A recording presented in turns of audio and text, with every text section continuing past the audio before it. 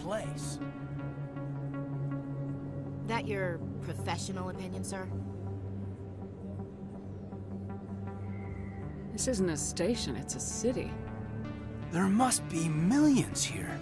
It can't be possible to track everyone coming and going. This makes Jump Zero look like a porta-john. And it's the largest deep space station the Alliance has. Jump Zero is big. But this is a whole nother scale. Look at the ward arms. How do they keep all that mass from flying apart? The Council represents more races than I thought. No wonder they're careful with newcomers. They probably just want to keep everything running. It has to be hard keeping all these cultures working together. Or maybe they just don't like humans. Why not? We've got oceans, beautiful women, this emotion called love. According to the old vids, we have everything they want. When you put it that way, there's no reason they wouldn't like you. I mean, us. Humans, ma'am.